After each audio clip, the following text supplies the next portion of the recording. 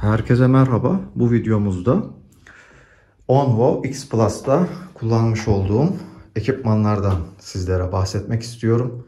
İlk olarak gidon çoğaltıcımız var. Alüminyum malzemeden oluşuyor. Her yerde bulabileceğiniz standart bir gidon çoğaltıcı. Onun üzerinde Phoenix BC35R isimli bisiklet feneri mevcut. Onu da hemen çalıştıralım. Severek kullandığım bir ürün. Bu fenerin de incelemesine kanaldan ulaşabilirsiniz. Detaylı olarak merak ettiğiniz kısımlar varsa kanaldaki videoyu izleyerek bilgi sahibi olabilirsiniz. Bu fenere biraz değinelim. Bu kısımda bir kontrolcü var. Kontrolcü sayesinde skuterımızı sürerken fenerimizi kontrol edebiliyoruz. Modlar arası geçiş yapabiliyoruz. Ama ben daha çok feneri sabit bir ışıkta yakıp selektör yapmak amacıyla kullanıyorum. Ve çok faydasını görüyorum. Kornadan çok daha etkili olduğunu söyleyebilirim. Fenerimizi de şöyle yüksek modda çalıştıralım. Fenerimizin hemen altında bir powerbank var. Bu powerbank Nightcore firmasına ait bir powerbank. Su geçirmez bir yapıda. Dolayısıyla su geçirmez olması benim için çok önemli. Ve scooter'a böyle monte ettim ki acil durumlarda telefonumu şarj edebileyim veya fenerimi şarj edebileyim diye buraya bir power bank yerleştirmeyi uygun gördüm. Hemen altında bir çantamız mevcut. Gidona sabitledim. Bunu da Amazon'dan almıştım. Bu çanta şöyle paket şeklinde katlanabiliyor. Böyle tek elle yapmaya çalışacağım. Böyle yaptığınız zaman cüzdan gibi duruyor. Çok şık bir ürün. Ben genelde açık bir vaziyette kullanıyorum. İçerisine ıslak mendil, selpak gibi şeyler koyuyorum veya o an bir pet şişe de su almışımdır onu koyuyorum. Çok pratik oluyor. Diğer taraftan bir taktik kalemimiz var. Bu niye var? Şu yüzden var. Tabi akşam sürüşlerinde istenmeyen durumlarla karşılaşabiliriz.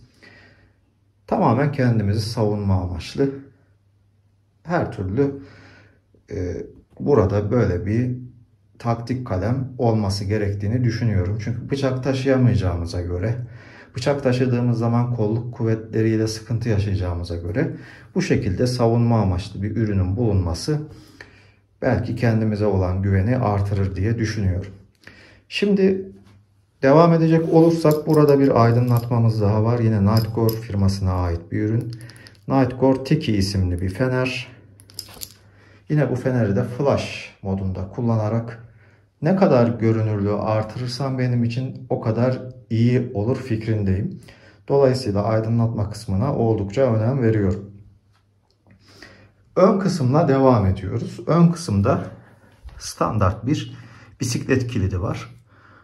Çok kaliteli bir şey değil. Kaliteli bir şey almayı düşünüyorum ama çok fazla da böyle bisikleti pardon scooter'ı bir yere kitleyip de gitmiyorum. O yüzden böyle standart bir şey almayı uygun gördüm. Onun yine hemen üstünde Gidon'da incelediğimiz çantanın haki yeşil versiyonu var. Onu da şöyle açalım. Yine böyle bir şeyler koymak için etkili olabilir. Tabi tek elde açıp kapattığım için biraz biçimsiz kapattım. Kusura bakmayın. Şimdi arka kısma gelecek olursak asıl önemli kısım aslında scooter'ın arka kısmı. Çünkü arka kısımda görünürlük daha önemli bence. Ön kısımda yine bir şekilde görünürlüğü sağlayabiliyoruz ama arka kısımda görünürlük önemli. Buralara böyle bir fosfor yapıştırdım. Ve Nightcore Nide Urfa 05 isimli bir uyarı ışığı satın aldım. Bunu da böyle buraya cırt cırt bir şekilde normalde bu klipsiydi onu kırdım.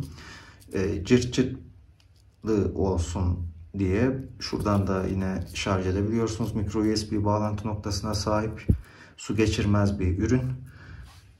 Buraya bu şekilde koyduğumuz zaman düşme falan olmuyor. Cırt cırtlı bir şekilde monte edebiliyorsunuz.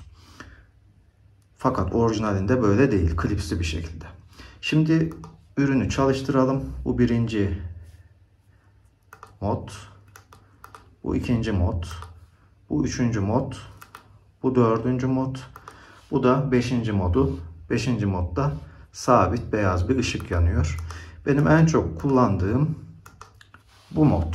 Bu modda görünür olmamanız imkansız. Akşam ışıl ışıl etrafı aydınlatıyor diyebilirim. Bu şekilde kalsın. Ben scooter'ı da çalıştırayım. Onun da aydınlatmasını açalım. Ve Phoenix'i de sonuna kadar açalım ve şöyle tamamını bir size göstereyim. Tabii çok fazla karanlık bir ortamda olmadığımız için bu şekilde gözüküyor. Karanlık bir ortamda gerçekten dikkat çekmemeniz mümkün değil. Videoyu izlediğiniz için teşekkür ediyorum. Başka videolarda tekrar görüşmek üzere. Hoşçakalın.